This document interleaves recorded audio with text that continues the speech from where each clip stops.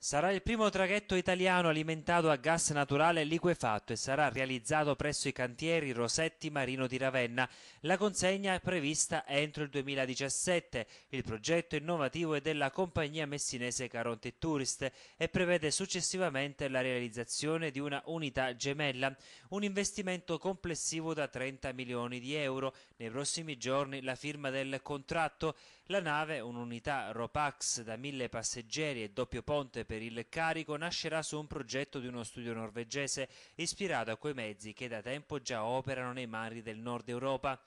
Caronte Touris decide di puntare al rinnovamento dell'attuale flotta investendo dunque su nuove navi che possano essere alimentate contemporaneamente a gas naturale liquefatto e a gasolio.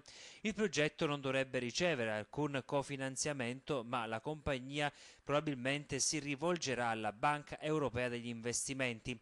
Successivamente bisognerà realizzare anche gli impianti per il bunkeraggio lo scorso 21 giugno Caronte e Tourist ha celebrato i primi 50 anni di servizi marittimi fra la Calabria e la Sicilia, durante i quali sono stati trasportati 230 milioni di passeggeri, 80 milioni di auto e oltre 20 milioni di mezzi commerciali, percorse 4 milioni di miglia nautiche.